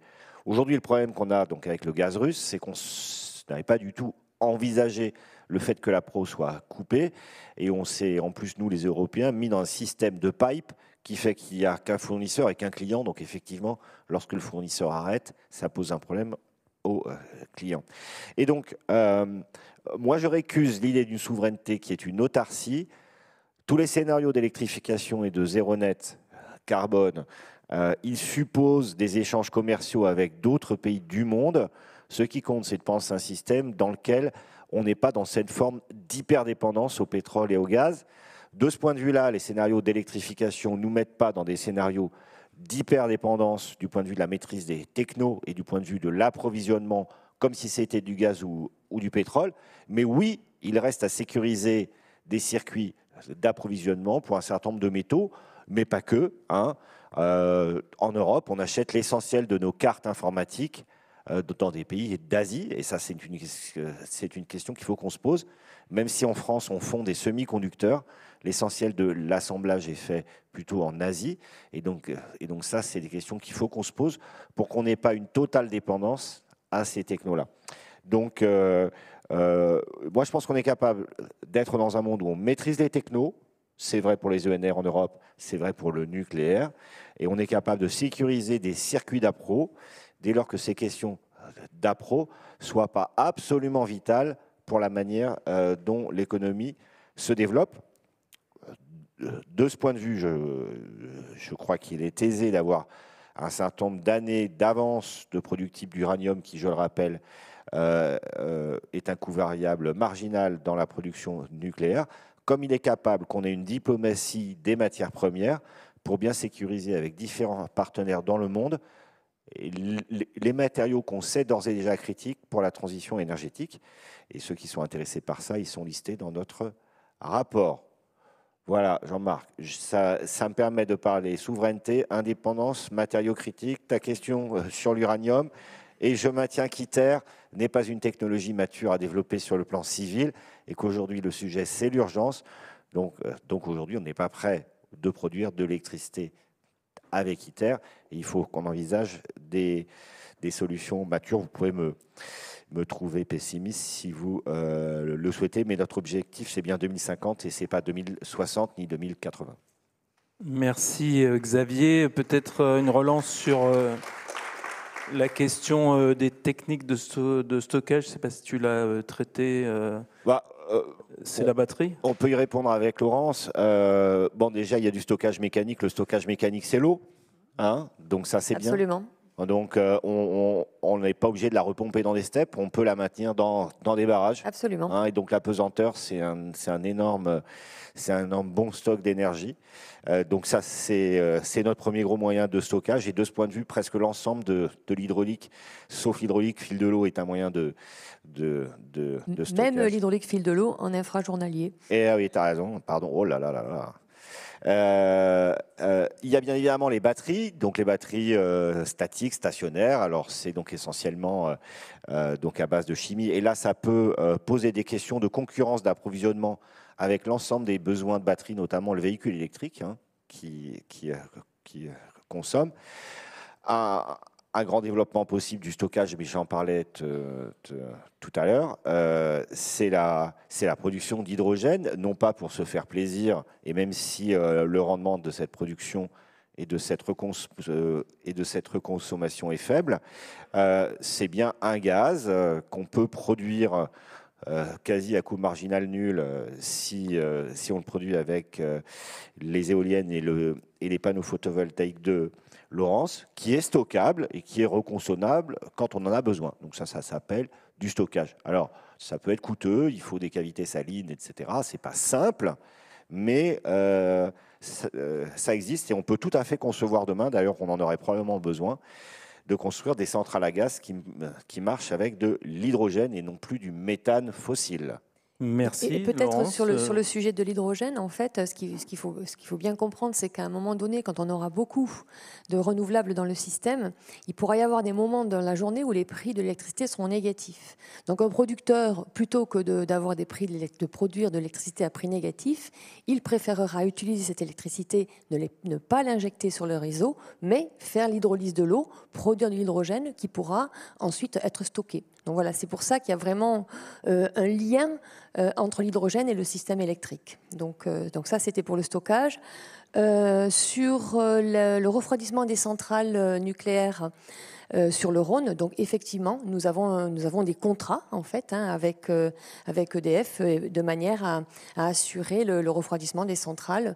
Et, je dois dire que même cet été, lorsqu'on a eu des étiages sévères sur le Rhône, on a réussi à assurer notre, notre mission de, de refroidissement des centrales.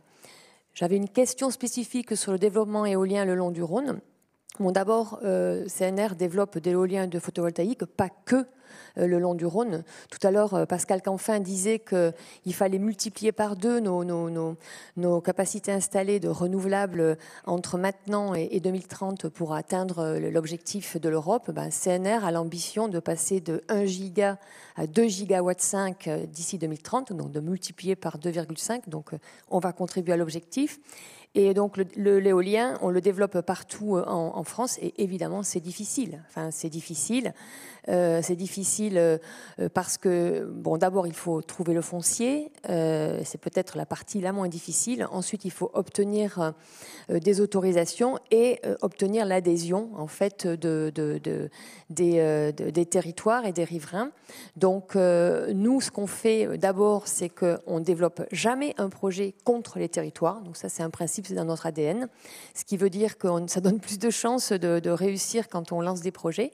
Et après, ce que ce qu'on voit de plus en plus, on n'est pas du tout les seuls à le faire, hein, c'est d'associer euh, les territoires, euh, soit via du financement participatif, soit en ayant des, collectivités au capital des sociétés. Vous avez peut-être aussi noté que dans le cadre de la, loi d'accélération des renouvelables, il y a une proposition qui veut que les, riverains des, parcs éoliens reçoivent une manne directement liée aux, parcs qui sont à côté d'eux. Enfin bref, voilà, le, développer euh, notamment l'éolien, le, photovoltaïque est nettement plus facile. Ça demande vraiment d'être en osmose totale avec, euh, avec les territoires et c'est vraiment un gage de, succès. Mais c'est difficile et on a vraiment besoin de cette loi euh, d'accélération des renouvelables pour, simplifier un petit peu le, cadre et, aider à atteindre nos objectifs. Parce que c'est bien d'avoir des objectifs, mais c'est encore mieux de les atteindre. Merci euh, Laurence Boré-Bancel, qui répond à la question euh, d'Adèle qui était pourquoi les projets autour des éoliennes offshore mettent autant de temps à aboutir? Enfin, répond partiellement, puisqu'il n'y a pas de réponse. Adèle qui nous fait observer aussi que cette conférence est passionnante, mais qu'il y a eu un déséquilibre de temps de parole entre les femmes et les hommes. Et donc, je donne carte libre à Kathleen Schubert pour rééquilibrer totalement le temps de parole, euh, parce que c'était notre souhait. Je ne vais pas faire ça parce qu'on a dépassé notre temps déjà. Mais donc je, veux juste vous poser une question puisque vous êtes là et qu'on a beaucoup parlé du stockage. Euh, est-ce qu'il est vrai qu'avec le, développement du réseau de voitures électriques, c'est un énorme potentiel de stockage euh, qui pourra euh, permettre de, Enfin bon, vous voyez ce que je veux dire. Alors, je veux bien y répondre à condition que ce ne soit pas pris sur mon décompte de temps, puisqu'après, on va dire que je participe au déséquilibre entre les hommes et les femmes. Oui, oui, bien évidemment, c'est compté. Ça s'appelle le V2G, donc le véhicule, euh. Euh, donc en fait, l'idée c'est d'utiliser euh, des batteries de voitures qui restent branchées, qui sont pleines, pour aller chercher de l'énergie dedans quand on en a besoin. Donc ça, on a différents scénarios. On sait, on sait en déterminer des volumes de, stockage. Donc c'est un stockage diffus qui va être utilisé par le système électrique. Donc oui, ça existe et oui, c'est compté. Et quand je, euh, et quand je parlais de batteries chimiques euh, tout à l'heure et de batteries stationnaires, je pensais aussi à ça. Euh, la voiture électrique, c'est un moyen de stockage demain. Je, prends deux secondes pour donner un message d'espoir. Il y a eu il y a eu une question sur la mutualisation. Et la mutualisation, ça veut dire échanger de l'électricité et de l'énergie entre les pays européens. Il n'y a pas vraiment de scénario zéro net carbone sans qu'on soit très solidaire entre les pays européens. Et si on parle de l'électricité, il n'y a pas de scénario vraiment euh, euh, qui font baisser les coûts sans euh, une quarantaine de gigawatts d'interconnexion entre la France et ses voisins. Et en fait, la, la, belle leçon de ça, c'est que cette neutralité carbone, elle est accessible, elle va être difficile, mais si la France la fait toute seule, elle est quasi impossible. En fait, ça va marcher que par une grande solidarité entre les pays européens, à travers notamment les interconnexions, qu'elles soient gazières ou euh, qu'elles soient donc électriques. Et cette solidarité, c'est pas euh, un mot en l'air. Hein. Ça marche aussi pour l'hiver prochain. Vous savez qu'en France, on manque d'électricité. Et donc, dès l'hiver prochain, vous allez voir ce que ça veut dire la solidarité des pays d'Europe qui nous envoient leur électricité pour que la France évite des coupures. Voilà mon message pour la solidarité Merci beaucoup. Euh, je vais juste prolonger euh, votre plaisir euh, d'être avec nous euh, de quelques instants. D'abord en disant que le débat va se poursuivre et il va être public dans les prochaines semaines, puisque, comme je le disais, il y a une loi de programmation énergie-climat qui va s'appuyer sur les travaux de RTE en manière électrique et énergétique, qui va s'appuyer sur les travaux de l'ADEME en matière stratégie nationale bas carbone, qui va s'appuyer sur d'autres rapports qui sont produits par euh, des euh, associations. Euh, un de nos interlocuteurs a évoqué le rapport TerraWater, et tout ceci va donner lieu à un projet de loi, puis à une loi de programmation qui, qui mêlera pour la première fois la stratégie énergétique et la stratégie bas carbone. Moi, je vous, avant de passer et que vous ne partiez le mot de la fin à Kathleen Schubert, je voulais vous remercier de votre présence nombreuse, vous remercier de votre question, remercier nos interlocuteurs euh, de leur temps et de leur euh, présence et des réponses euh, en très grande franchise. Et puis voilà, Kathleen, te passer le mot de la fin pour tirer les conclusions de nos échanges et nous faire passer les messages que tu souhaitais. Non, je, veux juste répondre à une question bah, qui est très importante puisque elle a été posée. C'est que effectivement, l'Europe fait une, politique climatique ambitieuse dans le, dans le, dans le Green Deal, comme l'a dit Pascal Canfin, et dans sa déclinaison qui s'appelle Fit for 55. La politique est ambitieuse, mais elle se fait dans un monde asymétrique. Il y a d'autres pays où il n'y a pas ce type de politique. Et évidemment, on n'a pas envie de ruiner notre industrie. On n'a pas envie, donc, en menant cette politique climatique ambitieuse, que, les entreprises délocalisent et que, euh, ou alors qu'on importe, en fait, euh, de l'étranger à coût plus bas des produits qui n'auraient pas subi les conséquences en termes de hausse de coûts de la politique climatique qu'on met en place chez nous. C'est évident, on ne peut pas faire ça.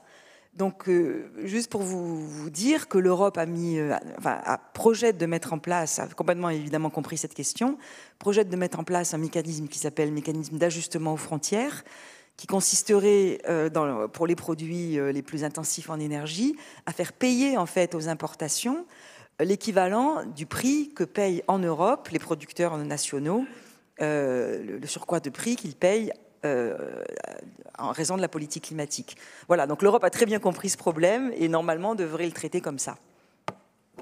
Voilà. Merci, merci à vous tous, merci au public et puis bonne suite dans les journées économiques de Lyon. Il y a plein de, de conférences encore passionnantes à suivre demain. Je vous invite à y assister nombreux. Merci à tous.